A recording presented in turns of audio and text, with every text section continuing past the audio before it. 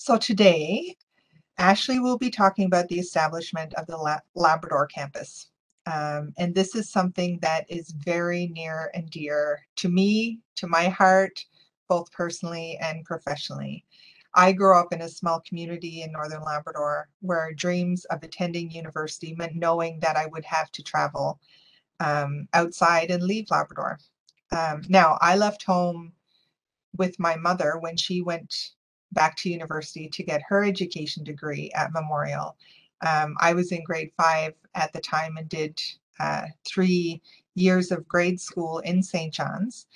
Um, it was an adjustment, but years later, um, I realized that it was an experience that gave me a bit of an advantage to when I eventually came to Memorial to do my um, undergraduate degree, having had that experience of living in St. John's. However, most people don't have um, that kind of experience. So the geography part of attending university is one thing, and having a university campus in Labrador will address some of those issues. And that is just really, really so exciting.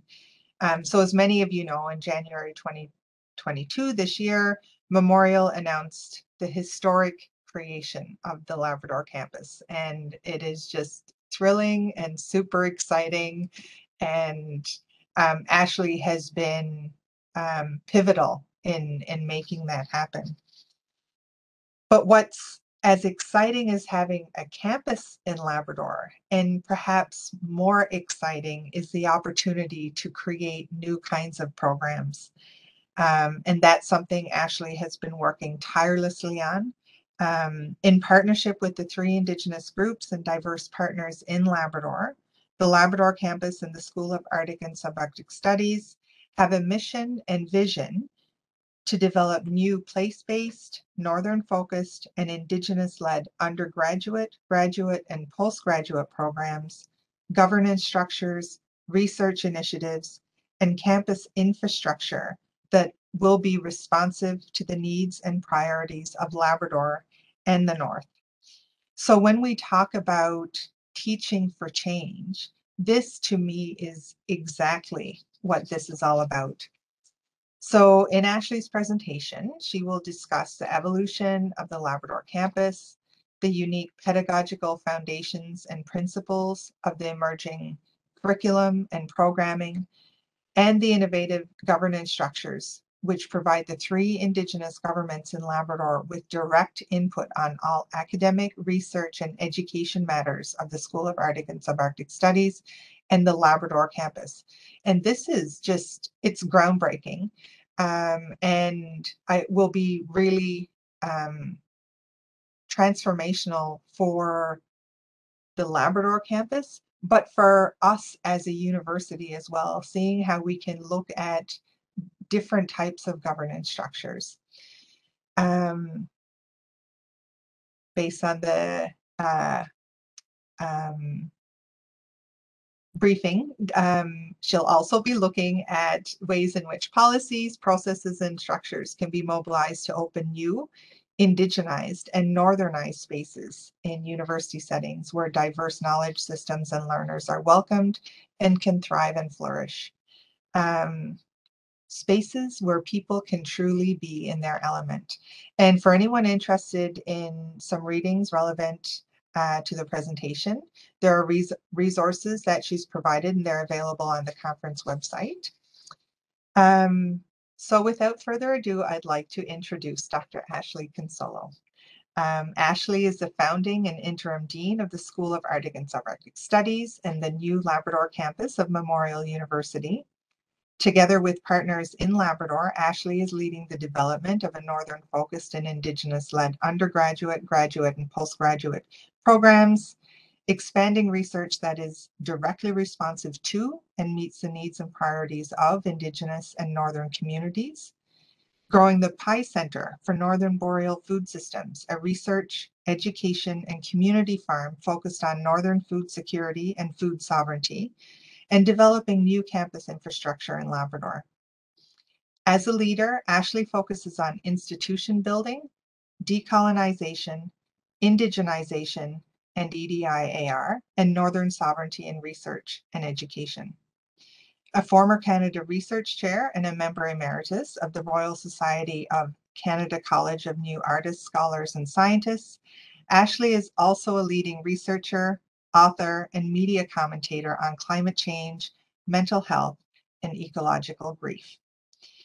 And it, I just would like to say it's been a real pleasure and honor working alongside Ashlee over the past five or six years. And I feel very fortunate that we have such an engaged and visionary leader at the helm of this important work. Over to you, Ashlee.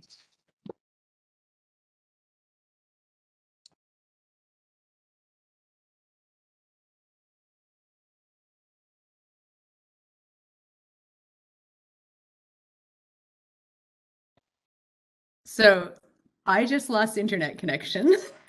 so I'm pretty sure Catherine just wrapped up because you just popped in and I could see you nodding. Yes. Um, but I just switched over connection. Hopefully that's more stable, but that actually is a is a funny foreshadow for what we're going to be talking today. That uh, that I had a technical glitch, but Catherine, I I caught uh, right up until probably the last 30 seconds. So thank you very much for the the generous introduction, and in particular, thank you for being such a key part of the creation and the movement towards the Labrador campus right from the very beginning. And certainly your uh, leadership, your advocacy, your lived experience really has made this uh, possible and working with so many people that we've been lucky enough to work with um, together to see this dream come to a reality. And thank you so much to Kim and Gavin and all the organizers. Uh, you know, it's it's really exciting to be here and and actually talk about this from a different perspective. I know a number of you on the calls have seen various presentations and things that we've done, but this one's going to dig in a little more to the personal pieces, um, the pedagogical pieces, the overall, you know, the politics, the ethics of why we're doing this and what it actually means, um, and and dig into the human element about the purpose of the campus and what teaching for change, what structures for change, what learning for change can actually do and, and be if we envision diverse new futures um, within post-secondary education.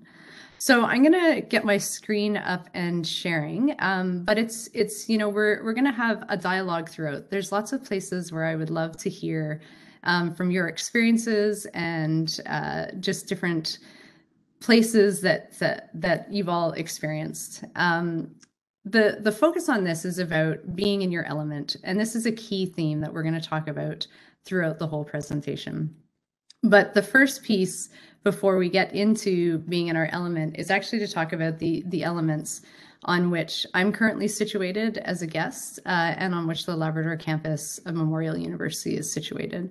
And, you know, I've been reflecting on what Dr. Mullins said this morning about the importance of not uh, tuning out or not sort of letting our mind wander when we're talking about land acknowledgements.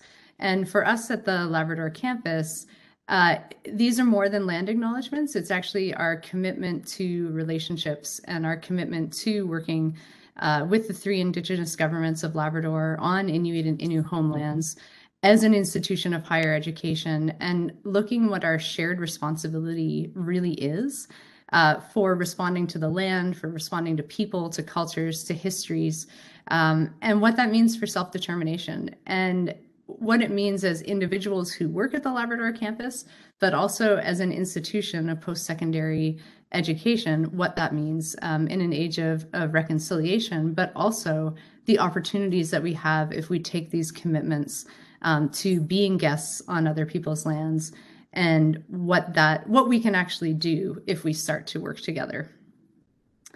So, the first thing I want to ask everyone is what does being in your element mean to you?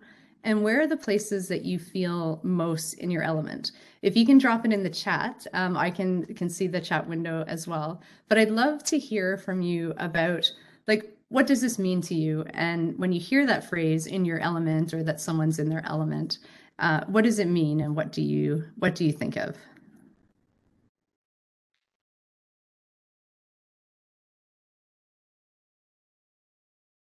And actually, Kim, I may not be. Oh no, they're starting to pop in now. I was a little worried my uh, my Wi-Fi wasn't going to allow it. Yeah, so comfortable. I mean, that's Oh, coming up. Being Great. true And to being who you are. Yeah, Yeah, I love that one. Familiar. yeah. Yeah, and engaged. Yes, thank you, Fleur. That's comfortable and engaged. And Um, comfort is where people flourish. Feeling confident. oh, Erica, I also like your play on words there about as a chemist and the in your element connection there as well. Yeah, yeah. Yeah, ability to thrive, secure. Yeah. Oh, I like uh, where comfort meets challenge. Uh, Mm. feeling in the flow. Oh, thank you. These are great. I uh, I'm really appreciating them popping up as they go by. So, where do you feel most in your element?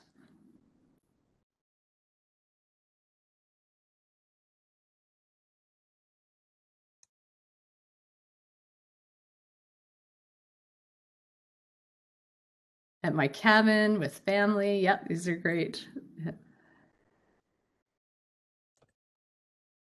Community.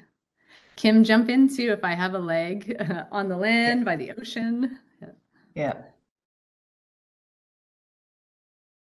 Outside near water. Yeah. Multiple places, engaged in the classroom, all alone in the wilderness. Interesting, that's always the one I find pops up is, you know, the ocean, nature, camping, mountains. Yeah. Yeah. Michelle, nice to see you with my family in Labrador. Mm. Yeah. Connection to the land always makes us feel in our element, isn't, doesn't it? Yeah, gardening. Yeah. Yeah, these are all wonderful. And uh, I think what we're seeing is these these common themes, as Kim just said, you know, being outside, being on the land, being in nature, connecting to community and family, uh, and and in a place where you feel comfortable uh, and you feel challenged, but it feels familiar. Mm. And I'm so glad that these things have come up because this, at the core, is what drives uh, the Labrador campus and what we're doing. And so when you when you look at the definitions of being in your element, it's doing something you enjoy or you do well, that you're happy and comfortable in a situation. So we've seen that come up. And that you really uh, feel in your preferred environment where you feel confident and at ease.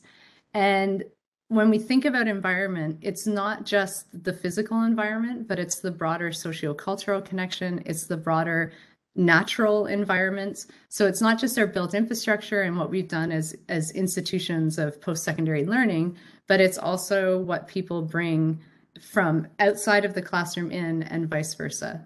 And so I want to carry this theme of being in your element and what that actually means if we're going to create spaces and places where people um, have the opportunity to to learn and gain a university education while feeling in their element, confident, uh, happy, surrounded by family and friends, and in a place that reflects who they are and who they want to be and where they want to be. Okay, so another question for you. Does anyone know how many universities, approximately, it doesn't have to be an exact number, are uh, in Canada? That's my first question. Just uh, general general guesses. Brian, that is a, an incredibly specific and very accurate number. so, 96, yeah. 15, 97. yeah, it it seems to be uh, depending on how definitions go, anywhere from like a 96, 97 to just over 100. Um, so we'll say, you know, approximately 100 universities throughout Canada. How many universities are in the north in Canada? Mm. A what, 10? One? Yep. One, and uh, the one is correct, and bonus points if people can name it and when it was established.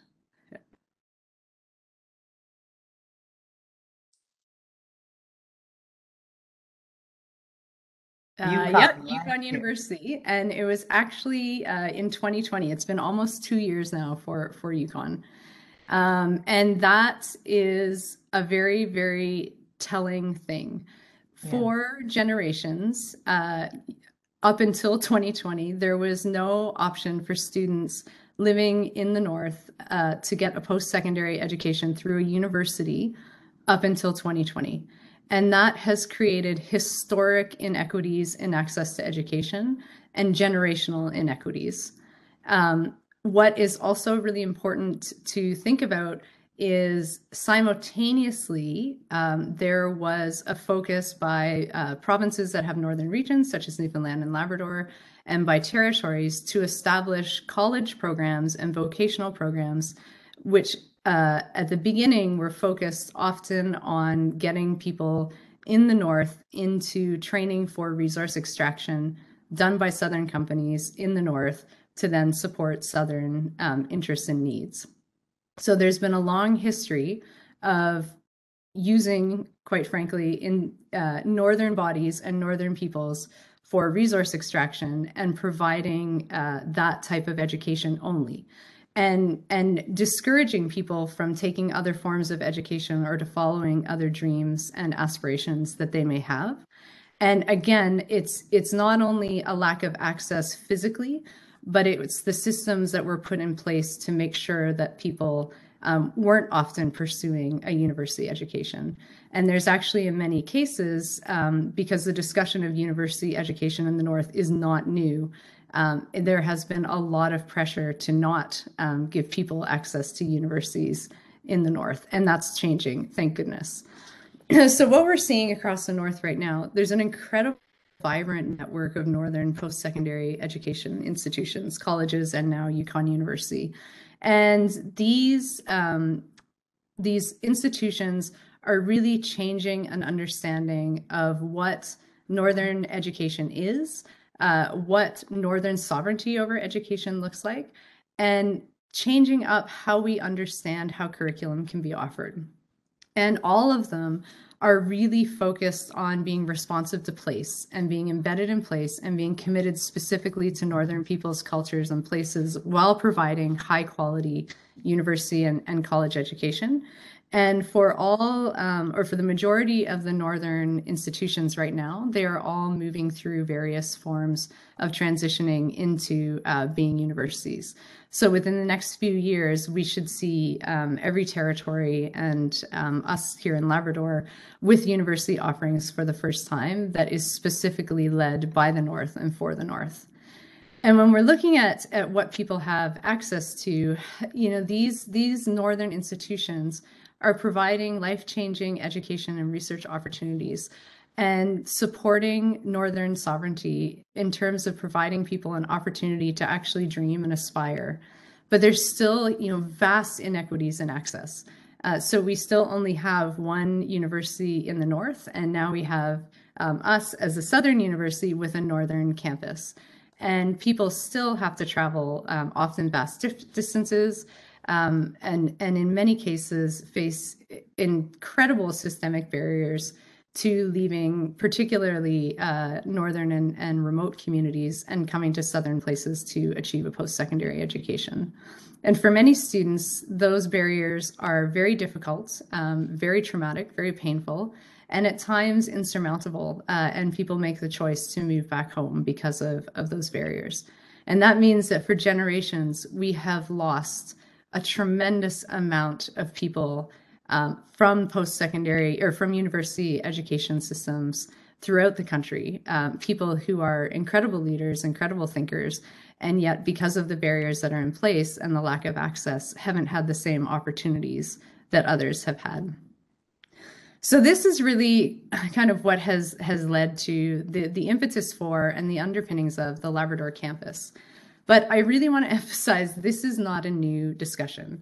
Uh, so for over 60 years, Memorial has had a presence in Labrador for part-time. And then over 42 years, it was a full-time presence through the Labrador Institute. Uh, this presence, while really important and while having a mandate to specifically work with communities in Labrador and make the connections between Labrador and the university, uh, had a lot of limitations. It was an administrative unit only. Uh, it didn't have academic access. It couldn't offer degrees.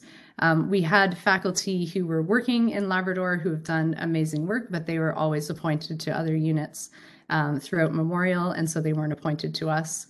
Uh, and there's been a lot of barriers to what we could actually do. So while there was some wonderful successful programs, most recently the Inuit Bachelor of Education cohort program in partnership uh, with the Faculty of Education in the Nunatsiavut government.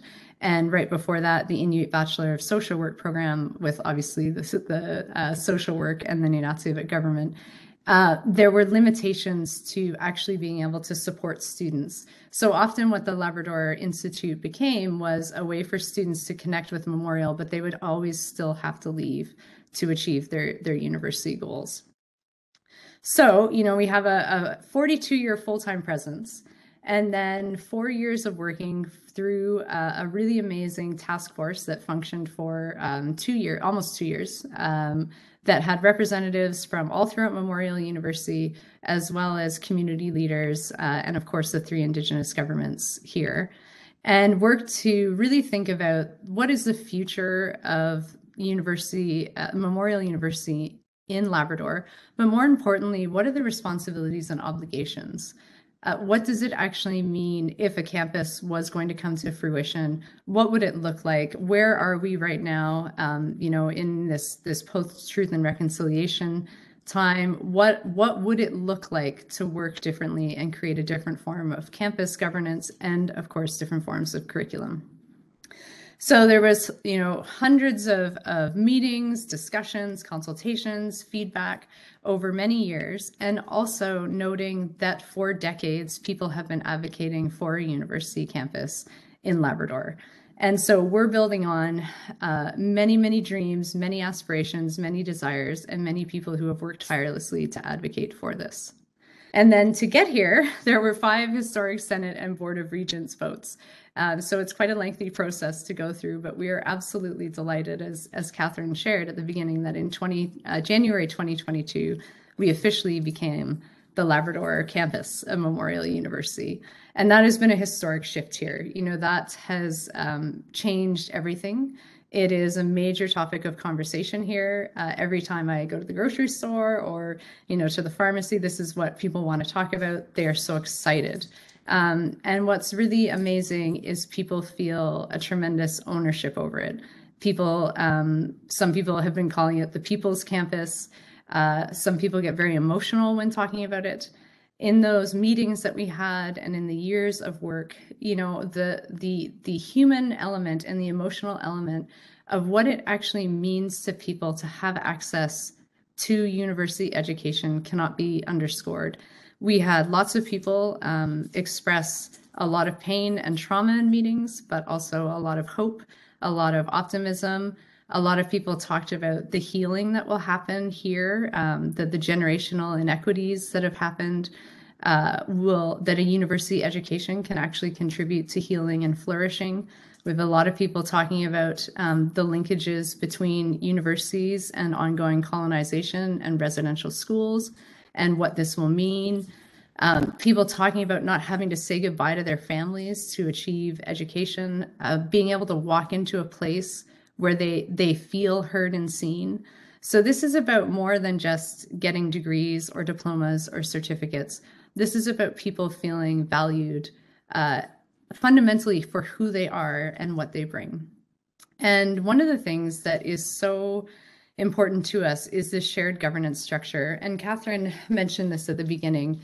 So we have the, the first academic council um, of Memorial University and one of the first in the country that has voting membership for the three Indigenous governments. And this also means not only voting membership, but that quorum can never be reached for any um, decision or vote without all three Indigenous representatives being there and voting. Uh, and if they're unable to be there, we go through other processes. But that means that moving forward, um, and and you know, for this this structure, people from outside of the university have opportunities to lead and contribute and shape curriculum, academic decisions, research, and how we're going to shape the overall governance moving forward. And this has been been a, a complete sort of change for what we can do and what it actually enables us to do is remarkable. So the work of this academic council has moved us forward in such tremendous ways that we would not have been able to do on our own. And it also means that these academic decisions that we're making are reflective of Innu and Inuit needs and priorities and really focus on strengthening the relationships and the commitments that we have. And then it continues to hold us as the university in relationship, but importantly, in structures of accountability. And the creation of structures is so important because then it is not dependent on who is in any one position or individual relationships. It's putting relationships um, institution to institution, or in this case, institution to the government to government to government, to make sure that this is a lasting legacy and structure. So I really want to sort of switch here and talk about some of the curriculum focus and the the learning from the land piece that we're looking at. And this is one of my, if you, if you haven't read this book, A Third University is Possible, I highly recommend it.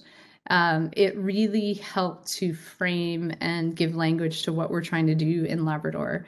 And this opening line here about within the colonizing university also exists a decolonizing education.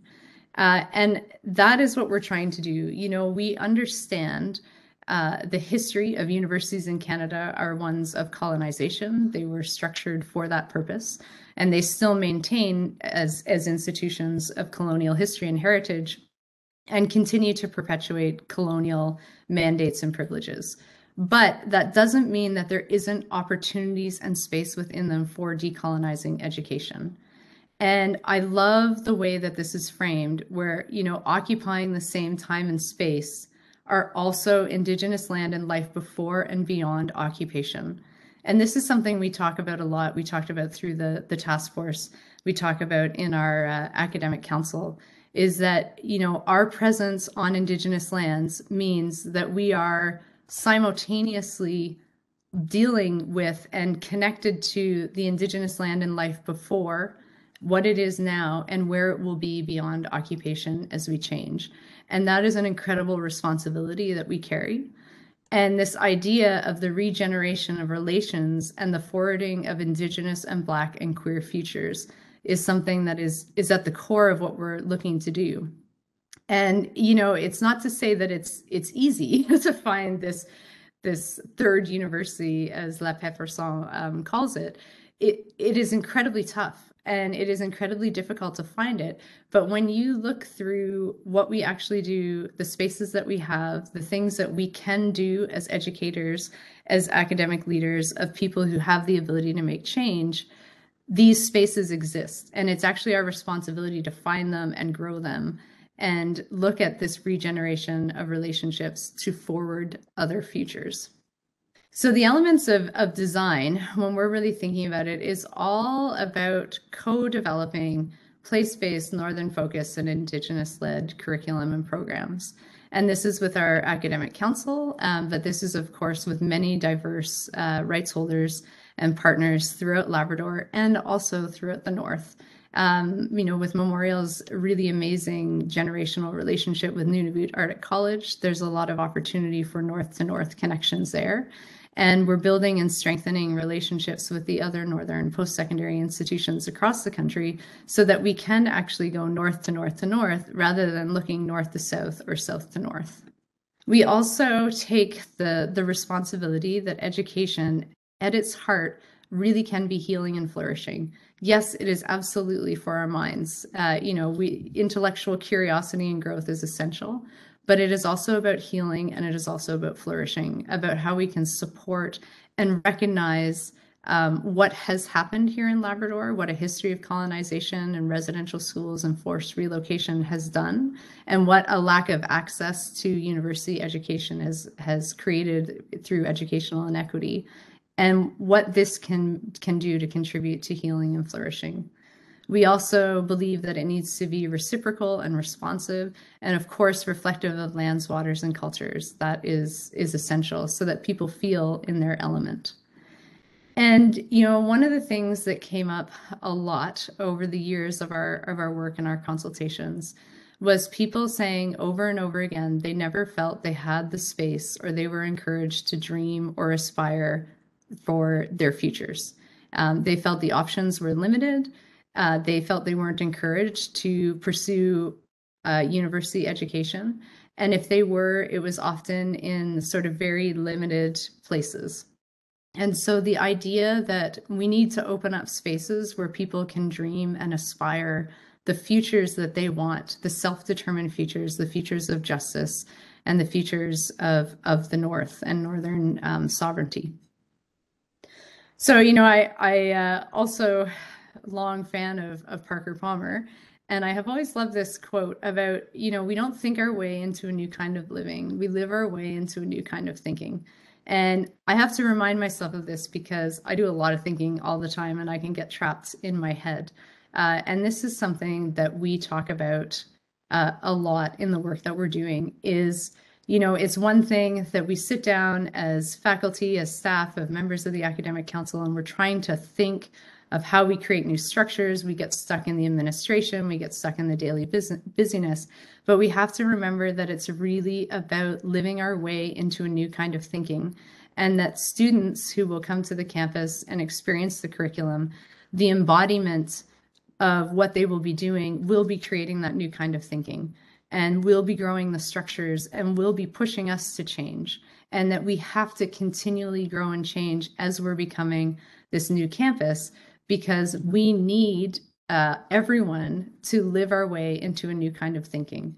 And it doesn't mean that it's going to be easy. It doesn't mean that it's going to be comfortable, but it has to be where we go now. We, we can't replicate the status quo. We can't um, get stuck in the this is how things have been done or this is what a university should be or shouldn't be. We need to start embodying this and living our way into a new kind of post secondary education.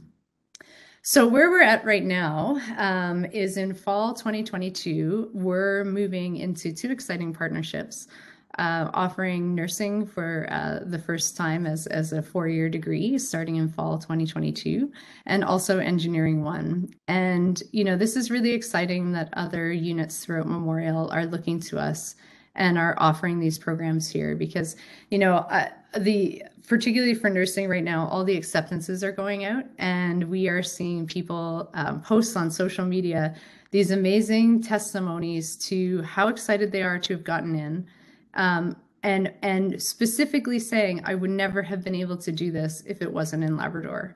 And the number of people who are identifying this as a lifelong dream or a life-changing experience, and then the the hundreds of comments that are coming in from from people and communities congratulating them saying they're so proud like this is amazing this is why we're here you know and and this is just the start of where we're going and what that will mean for people to be able to pursue a whole diversity of degrees and diplomas and certificates and to actually be able to to create their own futures and be able to do it right here at home so our plans for 2023, again, these are all uh, they're all tentative because, as everyone knows, creating new programs takes some time, and there's there's many many uh, pieces to it.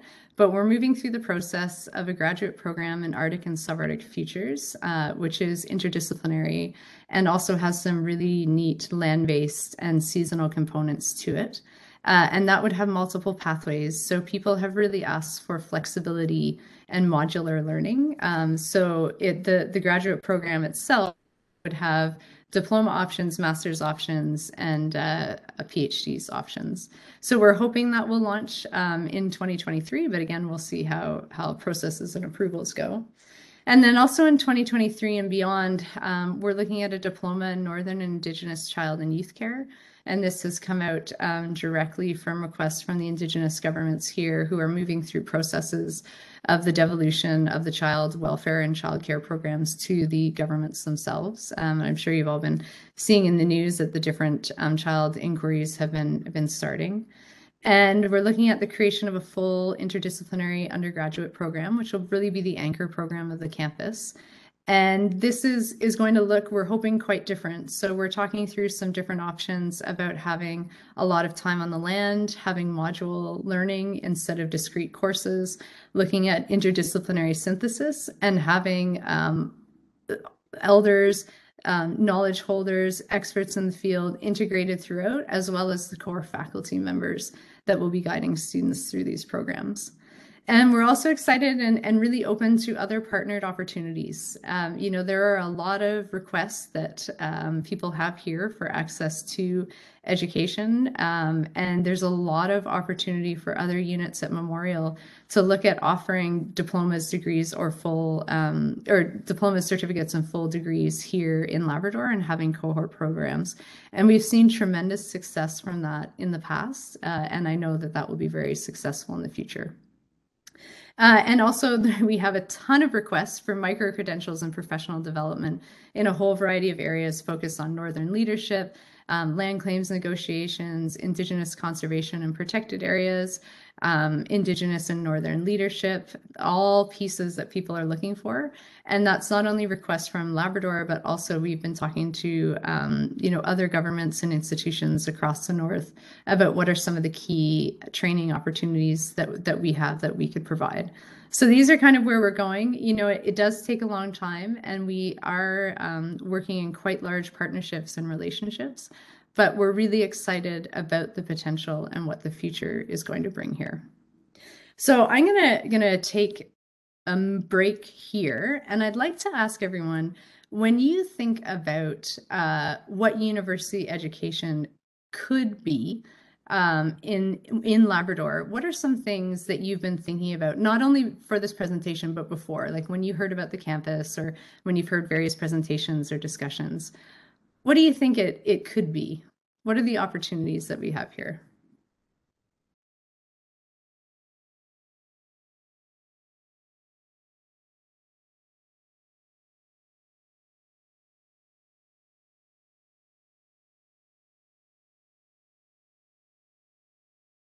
Engaged with and driven by community priorities, which you've already identified.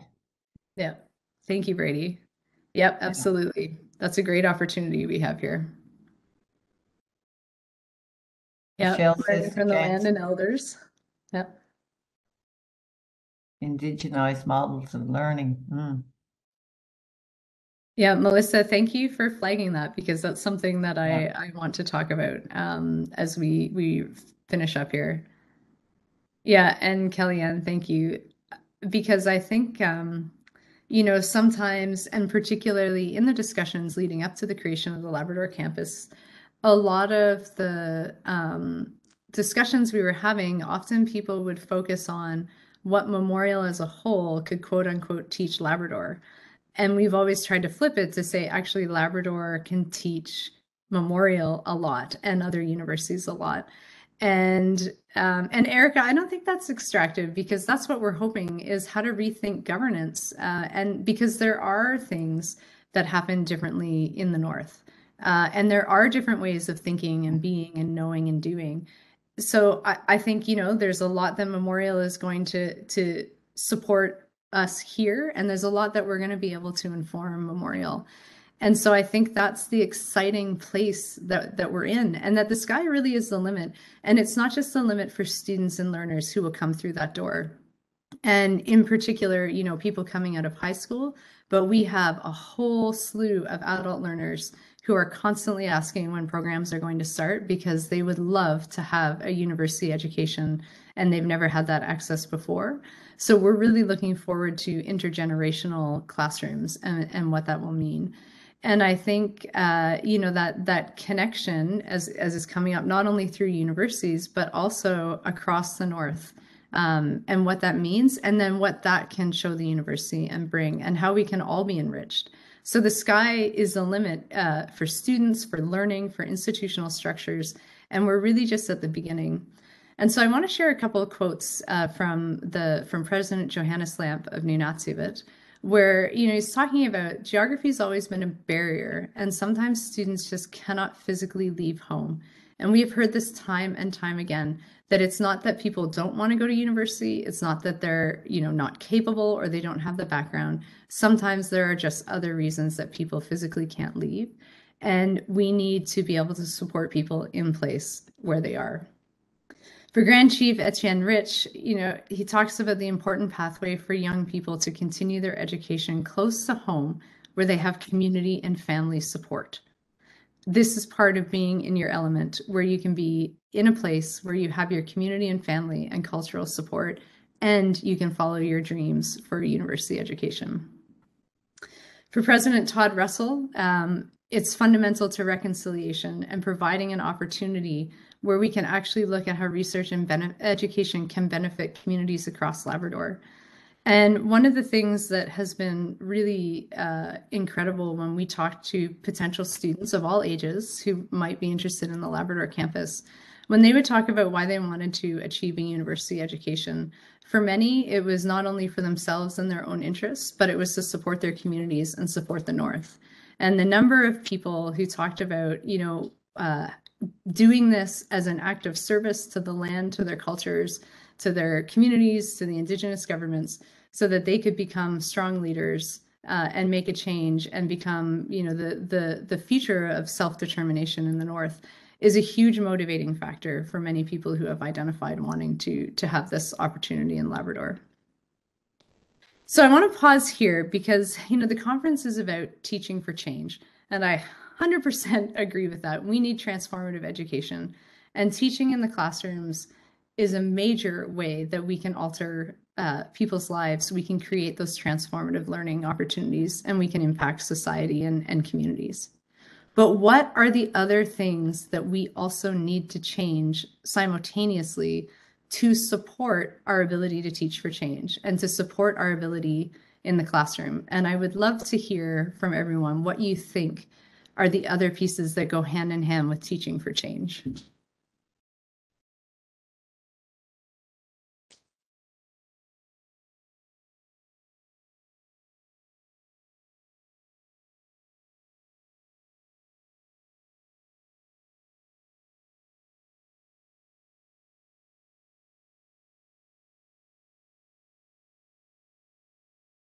I know many of you on the call have a list of things that uh, that need to to be disrupted or or uh, altered or changed. Yeah. Openness to diversity. Yep, mm. absolutely. Mm.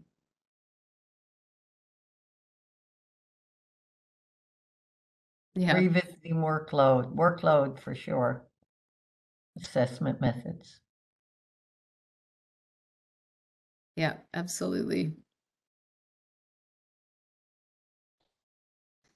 Yeah, on on our end, all of those things and also the structures. Yeah, the decolonizing approaches to curriculum and leadership, absolutely. Uh, university dependence on timetabling.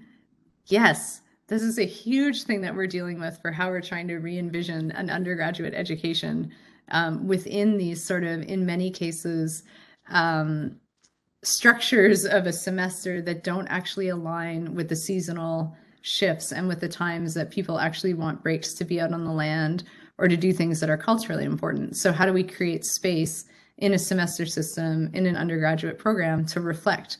Um, you know the key fishing times or berry picking times or the times in labrador where you know being out on the land is essential to your overall well-being and so I think what we also need if we want to teach for change is simultaneously we need structural change and that's structural change at all levels.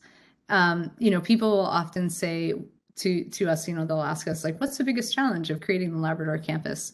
And uh, we have two big challenges. Uh, one is other people's perception of labrador um, and of of labrador's um, quote unquote readiness to have a university, uh, which is based on a lot of systemic, uh, oppressive, racialized colonial thinking. Um, and the other one is we're actually our own biggest barrier as a university because the structures that we have in place are, as if you think back to that um, quote from a third university, they're still a colonizing university And so finding the spaces within that for the decolonizing education is incredibly challenging. And actually creating this, um, even though the support for this is enormous, when it actually comes to the structures, it's incredibly challenging because at every turn there's a structure that doesn't quite fit or a policy that doesn't quite work. So we need to teach for change. We need to learn for change. We need to embody our ways into new thinking, and we need serious structural change. And part of that serious structural change is allowing um, systems to learn from each other. So as we're learning from the rest of the Memorial University system to develop a campus in Labrador, to simultaneously have the university system writ large learn from Labrador and learn from the other Northern post-secondary education. So I, I want to end here. This is Elder and Dr. Jean Crane. She received her honorary doctorates from Memorial University. And Jean was the elder on our, our task force, um, but she is so much more than that. Jean is a, a residential school survivor who has done tremendous um, advocacy for Indigenous and Northern rights for her whole life, particularly around the themes of women's rights and safety, uh, youth, and education. And in 1979, Jean joined Memorial University's Board of Regents uh, as a Labrador representative. And one of the things that she advocated for at every meeting tirelessly was the creation of a Labrador campus. Because in 1979, and for the time that she served, she and others here in Labrador who joined her saw the campus as a way to undo injustice, as a way to support families and children, as a way to heal from the legacies of residential school systems and ongoing oppression and as a way to create stronger communities and a stronger region. So I want you to think about that. This is 1979. Jean was advocating for this on the Board of Regents. And then uh, Jean was there for um, being on the task force that led to the creation and was there for the announcement and received an honorary doctorate from Memorial University for the work um, that she did. A lifetime of work and a lifetime of so many people that have led to this. And the responsibility that we carry as a university, that I carry, that faculty and staff here carry, this is what we think about um, about coming in full circle, the stranger and the ancient races, healing now so that our hearts beat strong and the spirits sing, and that people can come and they can come to the Labrador campus, and that this is what they experience through their university education, and that they can truly be in their element. So I'm going to stop sharing my screen and I would love to have a discussion around all of this um, about what it means, where our responsibilities are, how we can think about university education um, differently, and what we can learn from the North, and how we can be open in our own teaching and structures to actually allow this, this learning to inform us.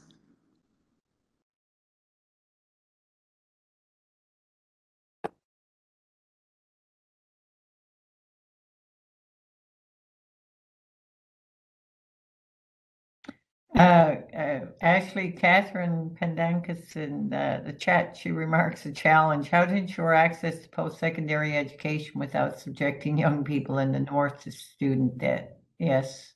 Yes, this is something uh, that we've absolutely been talking about, um, and uh, the the three Indigenous governments here have various ways to support their students who are members or beneficiaries and um, are working on on other ways as well.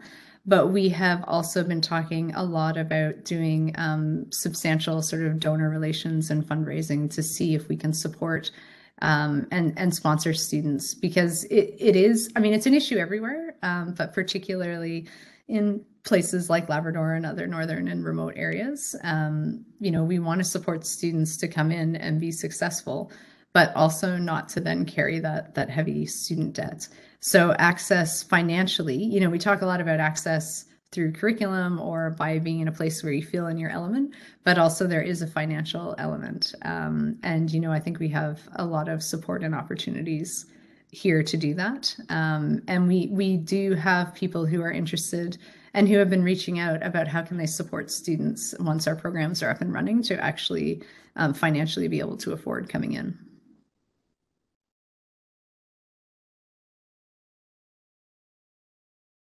Thanks for those uh, kind words, Catherine, and thanks for all you you have done for all of this for so many years, and all the advocating that you have done for Labrador, uh, even before starting at Memorial University, and of course in your position at Memorial.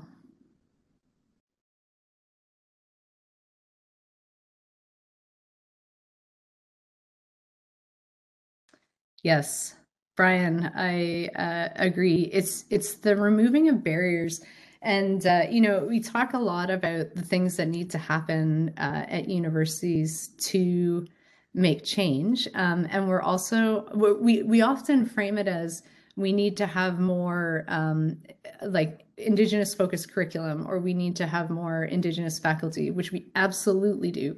We 100% need that. Um, and, and in particular, Memorial really needs that but we also need to remove barriers. So it's not just about adding, it's about subtracting, and it's about removing the things that have made those inequities in the first place. So those mechanisms of oppression and colonization that have been put in place by universities, we need to simultaneously add and subtract. We need to to work that out and look at what it means from not only an indigenization and decolonization lens, but an anti-racism lens and you know that's one of the things from that quote from the third university is looking at you know the indigenous black queer diverse just futures.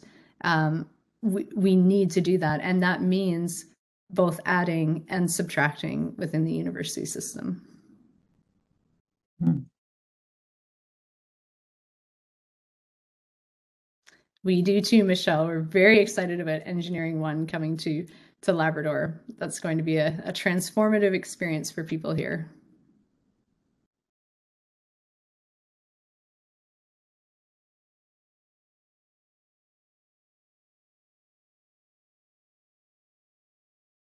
Yeah, Melissa, I'm just reading uh, your piece now.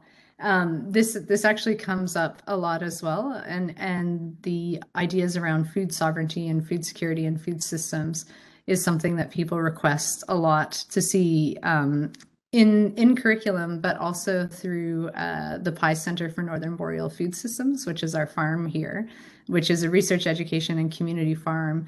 And the requests for traditional cooking, um, for harvesting and preserving foods. And we're doing a lot of wellness programs right now um, with uh, Jordan's principle in Sheshatshiu First Nations, as well as with the Nunatsiavut government, the NunatuKavut Community Council, um, and developing relationships with Labrador Grenfell Health to actually do traditional healing programs on the farm uh, and what that might look like and how we can support mental health and addictions and um, transition living and people with uh, neurodiversities and youth and all different ways so that we can actually bring people together through food and through family and through community and also how we can integrate that into um, curriculum. And so this is actually a discussion we're having right now for our undergraduate program is how do we bring these kind of pieces within the undergraduate experience as well. And of course, we're hoping our graduate program will actually have people researching um, what you've been putting up there because that's a huge need and desire here.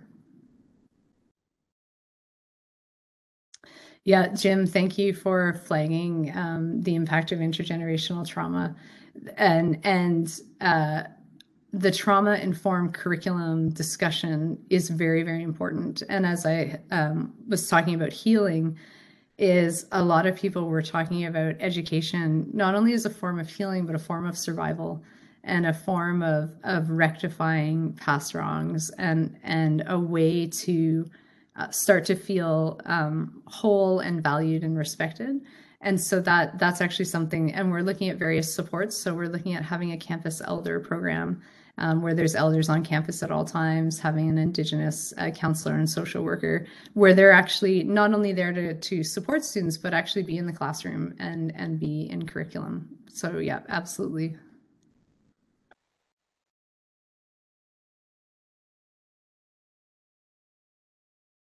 Uh, so Erica, thanks for asking about the engineering one. Um, we are in the process of um, hoping to launch this fall, uh, and students did have the opportunity to enter in through the Labrador campus. And we are um, looking at the program in different ways to reflect the North and to reflect Labrador, and particularly to um, have curriculum uh, and, and examples of engineering practices and principles reflect Labrador. Uh, and also, we're just at the beginning stages of looking to put together a certificate for people who finish the program that would also have the inclusion of really exciting new courses on Indigenous um, engineering and looking at climate change engineering and what that means from a community perspective and what community engaged and community led engineering actually looks like.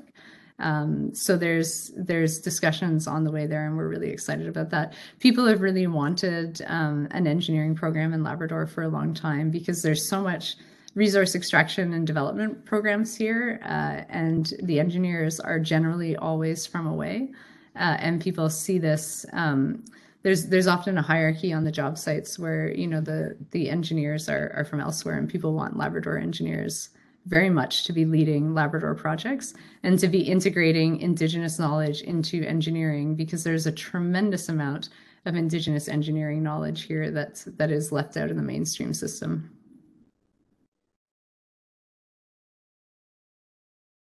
Ashlee, Kim here. I'm just gonna, uh, I'd like to ask a question because we're doing some work with you, obviously, around the technology by how we're delivering these programs and stuff. So just curious, like, you know, uh, when we talk about the importance of the place and the people and being in your element, and so much of this will be delivered through technology, you know, bringing, it's kind of cool what what we're doing. Um, you know, bringing different groups across the province together in different programs and at different sites, as well as in Labrador.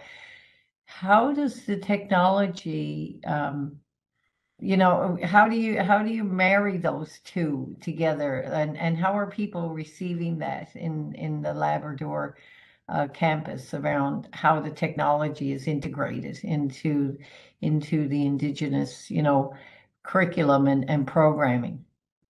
Yeah that's uh, they are ever evolving ongoing discussions um, because of the limitations sometimes. Well as you saw i lost internet and I'm in Goose Bay. Uh, so I lost internet eh, right before this presentation, and this happens for students all up and down the coast. Um, so we're, and people want accessibility. So it was very clear in the creation and the, the decisions around the Labrador campus that in person was really, really desirable, but so was um, hybrid opportunities where it could be in person and remote access at the same time. So people really love the live opportunities to come in, but also it provides the flexibility to not have to um, say, you know, you're in, in Nain, for example, you wouldn't have to travel to Goose Bay to still take your, your classes.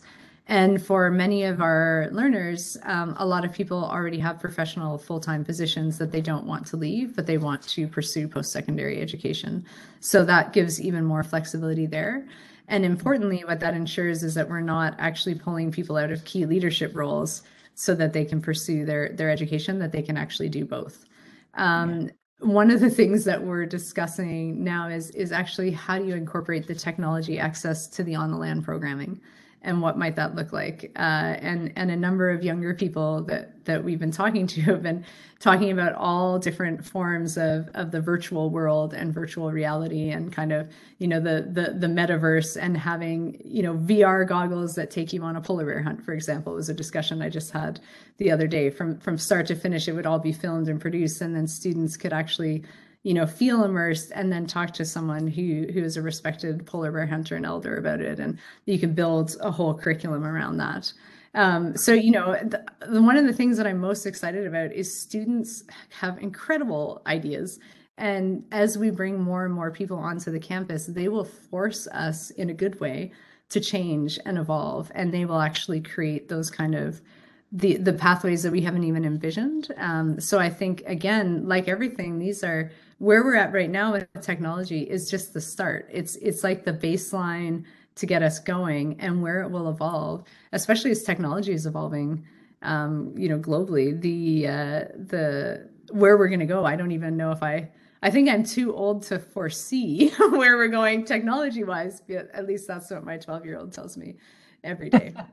uh, my age stops me from seeing technology breakthroughs. so. Uh, and and I see your question there. Again, this is so essential. Um, so internet housing, absolutely. All of these things are so tricky. And one major limitation that we're facing right now is housing for students. Um, housing is, is a challenge everywhere in Labrador and, and most places in the north. Um, but because we don't have the ability to build our own campus yet, which the dream is to build brand new infrastructure here that would be Indigenous designed and Indigenous focused and have um, community residences, is in the short term um, we're dealing with with that, and we're looking at creative partnerships um, with some some potential opportunities here to open up space that would be specifically for students. Um, and the internet is a challenge. I mean, outside of, of Goose Bay, it can be less stable. Um, and what is coming though in the next couple of years is uh, more broadband access, more cell service access throughout all of Labrador. Uh, and a lot of people are also getting the Starlink system right now, and that is rapidly increasing access.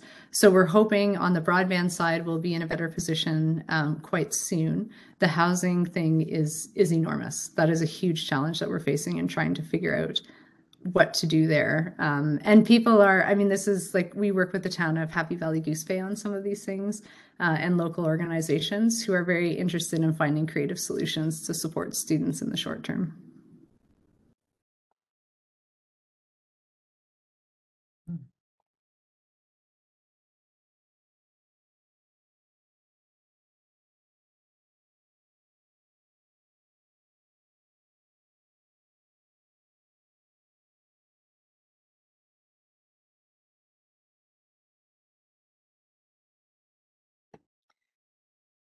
Does anybody have anything further for Ashlee, or are we good?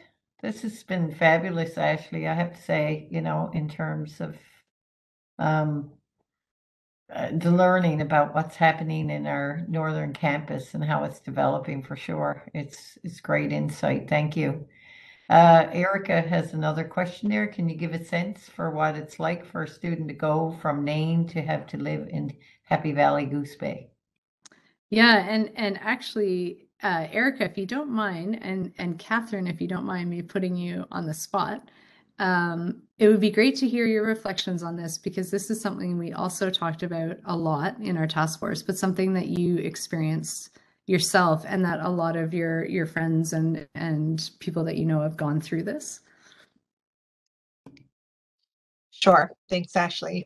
Um, it's still um, I don't know what the actual kilometers are, but uh, the communities on the north coast of Labrador are still remote. There are no roads that um, that you can drive a vehicle. Um, you can drive a skidoo in the wintertime, um, but of course that's dependent on ice conditions and snow conditions. Um, so it is still, um, it still does mean travel. Um, from Nain, Natuashish, Hopedale, Makkovik, Postville, Rigolet into Goose Bay. Um, and there are some challenges um, that would still be present. And I know Ashlee is fully aware of those and, and thinking about that as, you know, we're looking at a Labrador campus.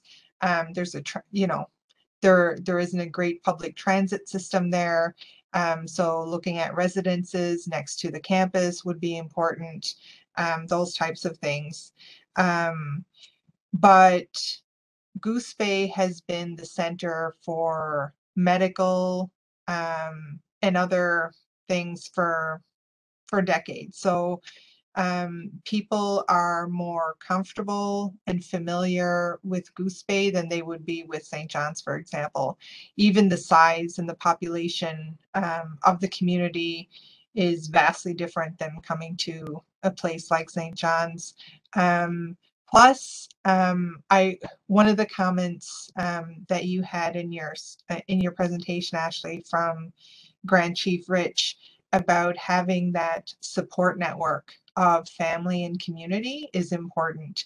And that's something that Goose Bay can still provide, even though someone might not be from uh, Goose Bay, there are still family and community networks for many people in Goose Bay because a lot of people have moved to Goose Bay and there's a fairly large transient population because people are you know fairly consistently coming into Goose Bay for hospital and and, and work related travel um, so it's still you, you know I I think we need to be realistic that it's there will still be some challenges for um, that we need to look at. Um, but it, I mean, when I travel back to Labrador for work, I can get off the plane in Goose Bay and take in a big, you know, deep breath of Labrador air and feel like I'm home. So it still does have that sense of familiarity. Yeah, thank you, Catherine. And that's that's something that we have talked specifically to to younger people around that about what would it be like to transition to Goose Bay and and all of those things that Catherine just talked about. It's still a challenge. It's still being away. But then so many students say, "Well, I know a ton of people in Goose Bay, or my older brother's there, or my aunt and uncle's there." And we've had a number of students say, "Well, at least if I went to Goose Bay and I was away from home, people would still sound and look like home." And so, you know, even if you're you're coming down from Nain or or Hopedale, you still recognize people and you know people and you know people still are doing things on the land that you would do. So it might not be the land around your community, but the the behaviors and the seasonal patterns and the things that people really care about are are very similar. Jump in, Catherine. I just saw your your hand go up. Yeah, I just put it up only for when you're done. Just one other thing. So when we were, when I did the consultations and engagement sessions for the strategic framework for indigenization, um, there was a student in one of the um, sessions that talked about um, the Aboriginal, res- what was the ARL, the Aboriginal Resource Office at the St. John's campus, and how it was like a home away from home because they could go, once they walked into that space, people knew who they were, they could call them by their first name. And I can't tell you how much that means to people to be known and for people, you know, for people to know you and to be called by your first name. That happens all the time back home. And so that, you know, that one piece is still something that can happen in Goose Bay because you can walk down the road, you can walk into Northmart or, you know, the co-op or whatever store um, and people someone will recognize you. And and that is something that is really important i think for young well for a lot of people and for young people in particular too. Yeah absolutely. To be seen and to be recognized. And if they don't know you within 30 seconds of a conversation everyone will know who you're connected to. And so those are and and you feel a belonging. Um, so students would talk about that.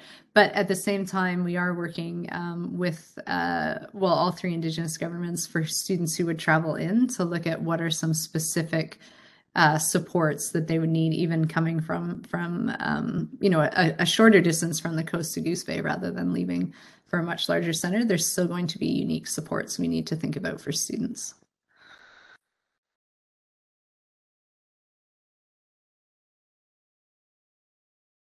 Okay, I think that bring, pretty much brings us to the end uh, of of the time. There's still a couple of minutes if anybody wants to uh, have a quick question or comment.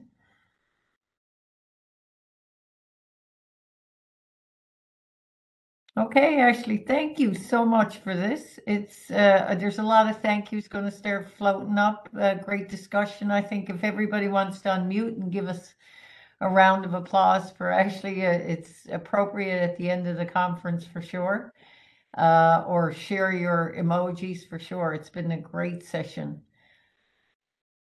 Yeah, lots of applause. There's no doubt. Thank you. Great things Thanks to so come much, in everyone. Labrador and your leadership. Thank you for your leadership. Very important point on on and Catherine for taking us here.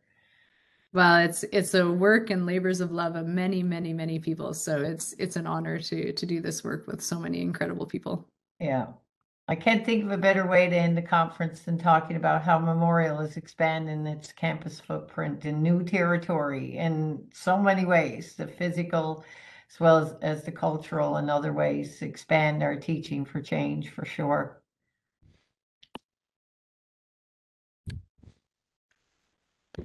Well, that concludes. We're still here for a few minutes. Um, just uh, going to take an opportunity uh, to say, like, for my experience, so I'll bring myself back on screen if that's okay. Um, this will take us to the last few minutes or half hour. I hope a few people stick around because I uh, just wanted to have invite myself and uh, my my uh, co-chair Christina Thorpe, Dr. Christina Thorpe as well, to just share in in some conference reflections and everybody for the last few minutes. Uh, I can't tell you like the great day this has been for me again.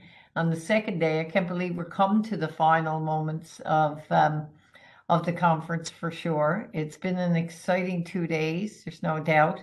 Uh, if anybody wants to give me an emoji to tell me how they're feeling now at this at this time and what they've been through, by all means, uh, share that uh, at this time. is great. Um, so I'll just, I, would like to share a few things. Like I think even here in Ashlee, uh, Dr. Cunsolo's last plenary here, it really hit home to me, for me, uh, one of my big takeaways from the conference, and that would be that while we thought a lot about and talked a lot about teaching for change in so many ways, because our program was so rich in scope uh, on topics uh, on the theme, it has pretty much for me, or most of the sessions I've been in and out of, has been so student centric. You know, it's been focused on the student and importantly, all students, not just their education, but who they are as individuals and how we remove those barriers and how we um, how we create those opportunities for students to um, to find themselves in their own element in their learning, to use uh, Dr. Cunsolo's words, but to find their own element in their learning. And, uh, you know, the student voice is so important in doing that. And it's important in our event. And over the last couple of days, we've heard from participants and presenters of students themselves who shared with us, you know, um, sometimes in very difficult uh, ways of hearing it and but sharing with us how they feel in, uh, in their and find themselves in our learning spaces you know that has really hit home to me. I think as an educator myself in in the discipline of business but also working inside citl you know, I've watched the changes in our student population almost accelerate. If I think about students I taught five years ago and students I'm teaching in the last year even, it's it's very different and how much that matters to our teaching and learning. I'm certainly aware. I don't know you, Christina. I'm certainly aware of my own vulnerabilities, you know, and I catch myself feeling more vulnerable as I teach and I teach more going forward. And you would think with experience that I'd probably feel more confident at times, more uh, experienced in my teaching. But I have to say, these days I'm almost feeling more vulnerable a lot of times, and that's not a bad thing. I think that's a good thing because it's it's for me it's that place of rawness. I think my one of my colleagues used earlier today that allows me to kind of open up and have a freedom to uh, to grow myself in it. So I think that for me has been a big part of the conference and what I can take away from it. Uh, perhaps knocking me out of my own element, right? Um, I've learned so much about how instructors and faculty and staff and students and we're all embracing these large changes in our environment, you know, from the technology to creating the more inclusive environments, everything from what you mentioned right at the get-go, uh, Christine, about, you know, students just not knowing uh, when they come in the front door, you know, of the university, what it even's all about and just having that talk with them the talk, you know, uh, here you are, and this is what's what it's all about. And you know, to that, how we break down barriers in our syllabus, like and you showed us in your keynote to, you know, making our our learning spaces more inclusive by having us all tell our stories and and and finding those ways of being more creative in our own learning and and having that opportunity to find ourselves there and integrating the different principles in curriculum and, and the spaces that we learn in. I got to say, I could go on and on and on. It's just been a tremendous couple of days for me. I got a lot to think about, reflect on myself. I know I've been on the back scenes too and, and a lot of the organizing, but it's it's events like this that, you know, I really yeah, I really am awakened, I think, to new things and and new ways of knowing about myself. So I uh, I got to thank everybody for that. Um, Christina, I don't know. I'll I'll look at you. This is our first faculty coach here. Uh, you know, your experience in this as well, and your presence has been so amazing at this conference. I'd love to hear what you how what your thoughts are and what your kind of takeaways are as well. Sure. I think that um, for me, the main thing that I've come away from the conference in the last two days, and and even kind of just starting with being the the faculty coach here, is just community, right? Like it teaching. I think that's kind of come up a lot for me, and thinking about how important the community side of it is. Um, you know, in terms of just like planning the conference and feeling more like part of kind of the teaching community at MUN and you know getting to meet some of the the guest speakers right? Like and you know having an opportunity to kind of bring her into my community and have that relationship i think has been fabulous. And and it feels like it's come up a lot in the presentations that i've been at you know? So like comments and, and in the chats and in the Q and A's about like, oh, you know, it's a great idea. Maybe we should have a community of practice or people, the, the number of people that have just given out their email in the chats has been fabulous, right? I think people are, are excited to kind of have that like-minded community. And I think even when you think a bit about, um, you know, one of the themes that was coming up a lot was that feeling of being overwhelmed and, and tired, but also really invigorated by it all and, and wanting to do more. And, you know, I think community kind of gets back into that a little bit that, you know, we don't, we're not all on our own, right? I mean, I, I talk with Kellyanne about like the research integrity and uh, the, the research impacting Indigenous groups like I learned more in just that, you know, hour long session about, you know, some of the how research impacts um, Indigenous people. And, you know, that was a fabulous session. And, you know, that's how we kind of learn some of these extra things is by, you know, kind of getting into that community and, and our resources that we have on campus. You know, there's lots of, you know, CITL and student life and the Blundon Center and, you know, kind of that. And, and then even just, you know, like you said, student centric, right? Bringing all of our students into our community so that they're they're an equal part of it and we're all kind of in this relationship together and how do we make sure that everyone from the students and the staff and and the outside community and really importantly the students that they all feel like they're an equal voice and an equal part of that. And mm-hmm. you know a lot of this discussion about EDI I, I just I, I really yeah it's kind of cheesy but I do. I feel like the strength of community and the teaching has just been really brought home for me in the past two days which has been lovely. That's excellent. Yeah. yeah if anybody's got any thoughts, you know, feel free to poke them in the chat too. I see a lot of thank yous, and that's awesome. Lots of takeaways, yeah. And and that's that's their intention. That's how we uh, set out to have the conference and and to bring our community together to share this way, so that we do learn from each other, but also to get energized again. Right? It's been a long, long road for the last couple of years, but I think what we've really highlighted here is is the amount of change that has taken place and and you know how good it is in a lot of ways, right? How how how inspiring it really can be. So um, I hope everybody's kind of found that that piece of the conference that way. Um, one thing I'll just I'll ask Darcy because at the uh, because we are coming to the end, if anybody does have any feedback at all and want to share it, of course, you know, we're we we we will be sending everybody a kind of link to our um our survey chat uh as well. So uh we will have a feedback form that'll go out and if anybody's got any ideas about our next conference, like this is our annual event now, so you know, uh, it can only grow from here. And uh, you know, Christina, you've been a part of this year. It's it's changed it again. You know, the the the richness of this event can only grow. So if anybody's got ideas about what they want to do in 2023, by all means, give us some.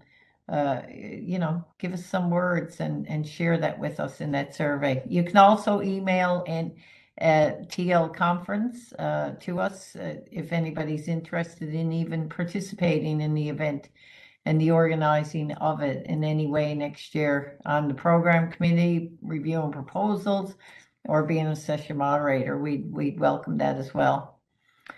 Uh, so I think that brings us pretty much to the end. Uh, as as sad as that may seem, but it's also warm for me, and and I feel warm and fuzzy on the inside. I know that's a little warm and fuzzy, but it is. I do. I I will sit back this evening and and uh, you know feel like I've learned a lot and just kind of be, yeah, uh, probably feel in my element. Hopefully. So I'll just share that, you know, I'd like to make a few acknowledgements now that we are at the end of the uh, of the conference. I'd like to thank the Office of the Provost and Vice President Academic, uh, first of all, for supporting and funding this event. Uh, it's all it's very important. We wouldn't be able to do it, of course, without that kind of support from our our leadership and our Office of the Provost Vice President Academic. Um, there's our conference uh, program planning committee that I mentioned. Christina, you, and also Ruth, Ruth Hickey, CITL's Ruth Hickey, have uh, led that committee of you know faculty, students, and staff from across the university. So the program would have not been what it is without that kind of input and guidance from everybody uh, in the community. This is everybody's event, of course. CITL, we we lead the organization, but really our program is really developed uh, by us all. So that's that's been tremendous. And then that's our conference, of course, our con- all of our speakers, keynote, plenary, concurrent pres- presenters, and those who reviewed our proposals for presentations that we've all enjoyed over the last couple of days and the, those who are moderating all of our sessions a big thank you um, because that commitment to making this run smoothly is is it really does make for the experience at the end of the day. For our senior leadership remarks from uh, our provost and vice president academic margaret steele as well as vp of grenfell ian sutherland of course catherine anderson this afternoon thank you so much that you could be part of it and we wouldn't look as good without marketing and communications, of course. This is the these are the people who work with uh, Peggy Miller in our office, CITL, our marketing manager, to make uh, make the show look good. So thanks for that. And last and not least, but of course, I can't thank enough uh, the team within inside CITL. I get a little filled up when I think about our work and dedication over a year um, and all the people involved on the organizing committee. Uh, I, if there's one thing I've always learned about CITL is that everybody in here has an expertise and they just love to use their expertise and they take great pride in doing it and always want to do a great job. So um, it's a real um, privilege to work in this environment for sure and of course the support services that went into making the whole event. All of CITL is involved in some shape or form, so it's a real team effort. And you know, Delores mentioned this morning, Dr. Mullings, that a lot of people don't really know or have not known pre-pandemic. I think our visibility is certainly raised, but all the the wealth of resources for just about any question that anybody would have about their teaching practice or teaching and learning can be answered inside CITL with the various uh, services. So we do hope that people do take advantage of that for sure. Uh, and so that brings us to the end. Uh, it's a wrap for again for this year. I hope everybody has a great summer, and uh, you know we look forward to seeing you at the conference in 2023.